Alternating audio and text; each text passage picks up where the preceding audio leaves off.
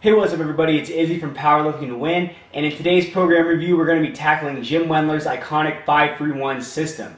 Now, before we begin, it is extremely important to note that 531 is not a generic cookie cutter program that you can easily analyze. Through his different book publications, including the original 531, 531 for powerlifting, and beyond 531, Jim Wendler has produced well over 500 pages of content regarding the 531 system. In these books, Wendler offers quite literally several dozen different versions of 531 that address a variety of goals, from improving conditioning, getting faster and jumping higher, improving general strength, and yes, setting PRs on the big three for powerlifting purposes. Please understand that it would be virtually impossible to offer a comprehensive review of every single variation of 531 in a single review. Unless you guys want to read a 10,000 word article or watch a 4 hour video, I'm going to have to stick to the basic popular version of 531 that's floating around the internet. Whenever possible, as I'm addressing the original 531 program, I'm going to make notations about revisions Jim has made in the more current book, Beyond 531. Keep in mind that the original 531 was published five years ago in 2009. Wendler has made substantial changes and, in my opinion, improvements to that original template. Nonetheless, most people still use the original variation, and our review is going to center upon that particular version of 531. That said, I'd strongly recommend that you consider picking up a copy of Beyond 531 if you're interested in doing any variation of the program. The book contains Wendler's latest and greatest ideas with regards to 531. If you're not familiar with first set last or joker sets, your knowledge based on 531 is out of date. Without understanding of these concepts, which are discussed in Beyond 531, you're not actually doing Wendler's current program. As always, we're going to start off with a bit of context about the origins of 531 program. Ironically, given its popularity in the powerlifting community, 531 was a program Jim Wendler invented when he decided to move away from the sport. That's right, Jim Wendler invented 531 when he quit powerlifting. In his own words, more or less, Wendler was tired of being a fat ass who wasn't good for anything besides waddling up to a monolift and doing a squat. He claims he was so out of shape that he actually lost his breath just walking around the block. As such, he wanted to come up with a program that took a more holistic approach to strength. He wanted to incorporate conditioning and mobility into his overall plan of attack. Wendler decided to strip away the complexities of the West Side style that he was using, and he reverted to a simple percentage-based program. In all likelihood, 531 was probably influenced by the bigger, stronger, faster lifting program that Wendler was almost certainly exposed to as a youth football player. This program, designed with a competitive athlete in mind, served as a fantastic framework for someone looking to improve their overall condition rather than focus explicitly on powerlifting performance. To make my point explicitly clear, Wendler's original program was specifically designed as an alternative to powerlifting training. 531 was never intended to be a powerlifting centric, powerlifting specific program. You must keep that in mind. Let's take a look at the bones of 531. Alright ladies and gentlemen, here it is, the original 531 program. So as you can see, 531 is a program with a monthly mesocycle. There are four distinct microcycles. The 3x5 plus week, the 3x3 plus week, the 5 the 531 plus week, and then the deload week. The key notation to make here is that the plus sets mean you do as many reps as possible on the last set of the workout. You're not supposed to go to failure on these plus sets, also known as AMRAP sets or as many reps as possible, but you are supposed to come within a rep or two of failure. The entire program centers around the concept of the training max. Essentially, using a rep max calculator, you estimate your true on rep max, then you multiply this number by 90% in order to find your training max, and using this training max, all of your work set weights are calculated based on the percentages that I just showed you. At the end of each month, you increase your training max weight on the lower body movements, the squat and the deadlift, by 10 pounds. You increase your training max on the upper body movements, the bench and the press, by 5 pounds. From there, you repeat the exact same workouts that you did the month before with slightly heavier weights. In addition to the monthly incremental increases, the program also allows for rep maxes. So even if the weight increases are only monthly, you can still theoretically make progress from week to week by adding reps. Although the original 531 program was never intended for powerlifters, Wendler has since addressed this issue in both 531 for powerlifting and beyond 531. In beyond 531, Wendler offers an 11 to 12 week meet peaking cycle. Here's what it looks like. Alright guys, here, here's Wendler's 12 week peaking plan. As you can see, the peaking plan is relatively simple and effective. In the first month, the lifter increases specificity by adding some heavy singles using his training max weight after he does his AMRAP sets. In month 2 though, the lifter starts using his training max weight as the AMRAP set. And in month 3, you cut out all AMRAP sets and you add an additional super heavy single. Not only that, but during the last month, by eliminating the AMRAP sets, you allow for an extended recovery period where fatigue dissipates. By still including the ultra heavy single, you prevent detraining and encourage further acclimation to heavy weights. By the way, in week 11, you cut out all assistance exercises as well, so you ensure full recovery going into meet week in week 12. Overall, this is a solid peaking option for the lifter who is using 531. And beyond 531, Wendler offers a half year full training program that includes periodized focuses on hypertrophy, conditioning, and strength. However, the original 531 template is not what you would consider periodized. Unlike the other programs we've looked at thus far, the 531 program does feature a monthly mesocycle with once monthly weight increases. In reality, this makes the program most suited for advanced intermediate athletes. Early intermediates can progress much more quickly than once per month, and even though 531 allows for rep maxes, it is much harder to add one rep per week than it is to add anywhere between 2 to 5 pounds or 1 to 2 kgs per week. One of the biggest criticisms of 531 is the lack of overall frequency for the power lifts. You perform each lift only once per week. For the vast majority of trainees, this simply isn't optimal in terms of technical development, you're going to need more weekly exposures to the lift in order to master your technique. Now there are a variety of 531 templates that function to increase frequency. For powerlifting purposes where technique is paramount, I think it is necessary to choose one of them. You can find many such examples in Beyond 531. In my opinion, getting your squat and bench frequency to at least twice per week is going to be the minimum acceptable level. I personally prefer to see benching happening at at least three times a week and even twice weekly deadlifting, but many people do just fine with benching twice a week and pulling only once. If you're going to do 531 for powerlifting, make sure that you use a variation where the frequency is increased. I think you know what I'm going to say here. The program isn't specific enough because it wasn't designed explicitly for powerlifting. The entire idea behind 531 was to move away from powerlifting centric training and focus on a more holistic approach to strength. The entire program is designed to allow for more conditioning, more overall recovery, and a better general sense of well-being. These goals and aims are all well and good, but many run contradictory to maximizing powerlifting performance. Like many other programs we've seen, the emphasis on the one-to-one bench to press ratio is just unnecessary and suboptimal for powerlifters. The vast majority of upper body training needs to be focused on the bench press. The biggest failing of 531 in terms of specificity is the percentages used by the program. Let's do some math here. If we're taking 90% of our true max as the base for our program, and then taking 85% of that number in week one, 90% of that number in week two, 95% of that number in week three, our actual percentages are closer to 75%, 80%, and 85%. In other words, for the vast majority of the months that you spend doing 531, you spend exactly one week at or above 85% of your true max. For a powerlifter, this is an absolutely horrible approach. Now, I'm not saying you won't get any stronger from working at lighter percentages, but I am saying that spending so little time in the powerlifter's money range, like 80 to 90%, is a recipe for suboptimal progress. The lighter percentages, while great for the long-term sustained progress on the program, completely bias it towards hypertrophy and away from strength. It isn't that uncommon for people to get 5 to 8 reps on their 5 through 1 week, which is supposed to be the heavy week. Look, if you want to lift heavy stuff, you have to lift heavy stuff.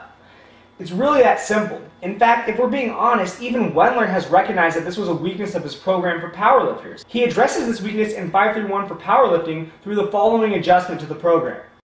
Here's the basic 5 through 1 for powerlifting program. The main changes to note here is that weeks 1 and 2 are actually switched around. So instead of doing the 5 plus week first, you actually do the 3 plus week first.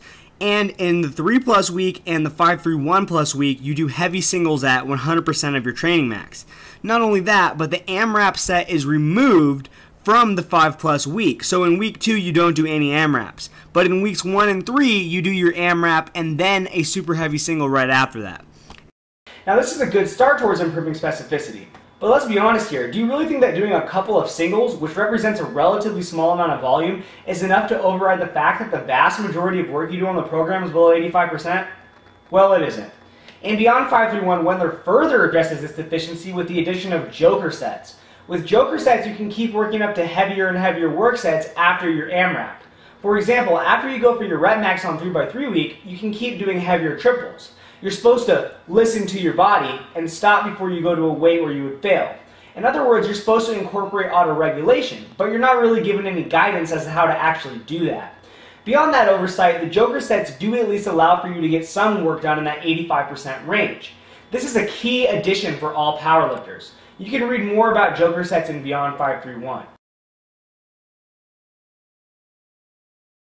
531 employs a combination of basic progressive overload and attempting to add more reps. On the one hand, you increase your training max by a fixed linear increment every single month. This results in heavier poundages being used over time, also known as progressive overload. However, you also push yourself to new limits with the rep max sets. By going for new rep PRs, you introduce another element of progression. This unique combination is one of the more intelligent and useful aspects of 531 in my opinion. While there are certainly programs out there that go way too far with how much volume and frequency they prescribe, the original 531 program actually goes in the opposite direction in my opinion. The original 531 contains too little overall volume and features unnecessarily frequent deloads. In terms of volume, you're only doing three work sets per week on each lift. The rest of the volume comes from assistance movements. Now I can already hear many of you saying, but I do the boring but big template. The Boring But Big 531 template features assistance work where you take 50% of your training max on the big on the big movements and then perform them for 5 sets of 10 reps.